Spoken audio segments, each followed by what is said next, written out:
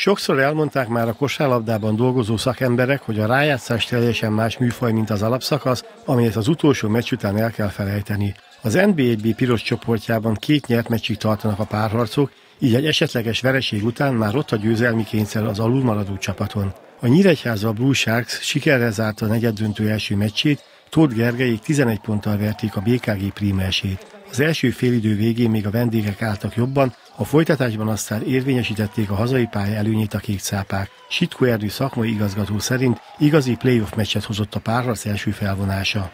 Az első fél időben egy kicsit elégedetlen is voltam, hiszen a srácok nem érezték ezt át megfelelőképpen, és 49 pontot nem lehet kapni hazai pályán, nem csak ettől a csapattól. Azt akartam mondani, hogy semmilyen csapattól, de a Golden State-től kaphatnánk 49 pontot, azt el tudom fogadni.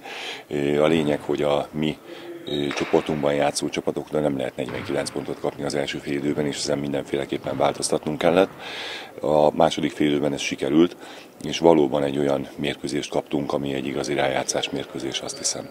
A nyíregyháziak pénteken lezárhatják a párharcot, ehhez viszont nyerniük kell Sziget-Szent Miklóson. Ősszel egy szoros meccset követően vereséget szenvedtek a cápák a BKG Primese otthonában.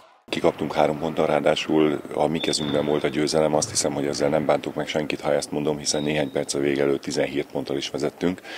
Ezt kell megismételnünk.